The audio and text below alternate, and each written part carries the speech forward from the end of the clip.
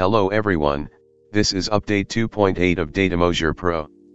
Let's see what's added in this software. This time there is one major addition to the software, that is FF Live Preview mode. When you open the FF Glitch modes, under Script Effect you will find a new button here, when you click this button it will open a new window for live mode. Let me import a video and show how it works.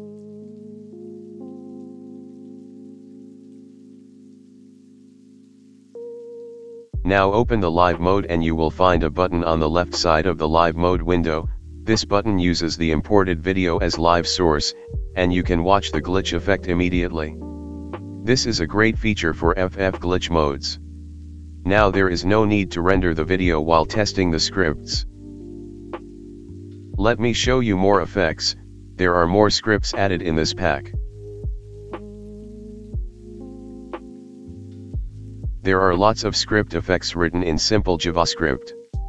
You can even edit the code and values for the effect.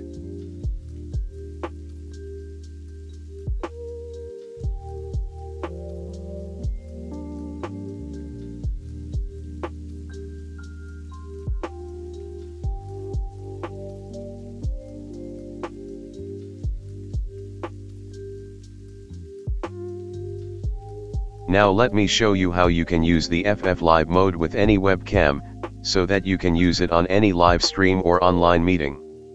For this you will need OBS Studio, which is a free software. Click on the plus button to create a new scene. You can name the scene as Datamosher Pro. Click on OK. Now add window capture as your source. Click on OK, now here you have to select the live preview window. Make sure you have opened the FF Live window before creating this. You can see the window preview, click on the OK button to save it. Resize the screen properly. After doing this open the Datamosher Pro Live Mode window. Now you can select your webcam or camera device so that it uses the main camera as source. For this tutorial, I am not going to reveal my face through webcam. So I will be using that video as the source instead. Minimize other windows, but keep the FF Live window in the background. In OBS Studio, you have to click this button called Start Virtual Camera. Then you are all set. You can now use this virtual camera with any application like Discord, Zoom or Meet. Let me show you the live demo in Google Meet. We have to select the OBS virtual camera as source here, then the live glitch video will be shown to the audience. Isn't that cool? Now you can scare other people online.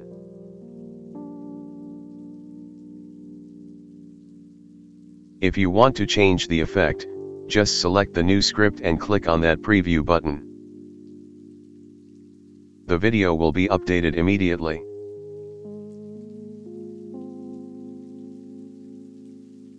If you change the keyframe amount, the effect gets reset after some intervals.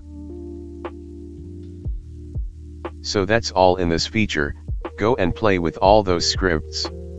I hope you like this update. Beside this, we also added batch processing in Datamosher Pro, now you can import multiple clips and mosh them all at once. This will also improve the workflow.